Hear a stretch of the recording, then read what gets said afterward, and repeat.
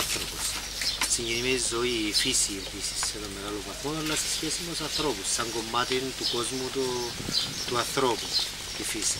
Ζω μες στη φύση, παρακολουθώ την αρέσκει μου, παρακολουθώ τις αλλαγές της φύσης, ζω τις αλλαγές των εποχών, αλλά ένα κομμάτι της ανθρώπινης ιστορίας.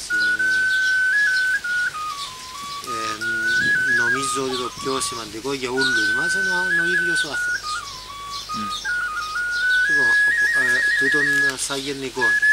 Σαν πιο ειδικό, επειδή γεννήθηκα στην Κύπρο και επειδή έχω την εμπειρία της Κύπρου και του πολιτικού προβλήματος της Κύπρου και επειδή έχω και μια κουλτούρα η οποία είναι επίσης ανθρωποκεντρική και ουμανιστική, νομίζω ότι έχω έναν ενδιαφέρον πάνω στις σχέσεις Ελλήνων και Τούρκων. Για μένα είναι το κλειδί της ιστορίας της Κύπρου.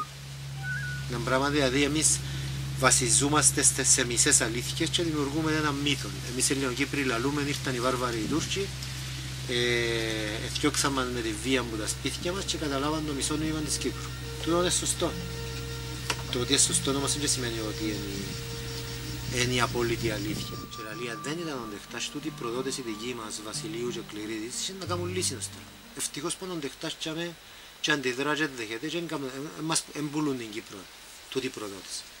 Κατάλαβες; Now, about three minutes past six, four minutes past six, and the first of the Turkish troops have landed in Cyprus. About five of these aircraft passed over in the last five minutes. They were guided. And the very first paratroopers are now hitting Cyprus soil. Over there, Alan.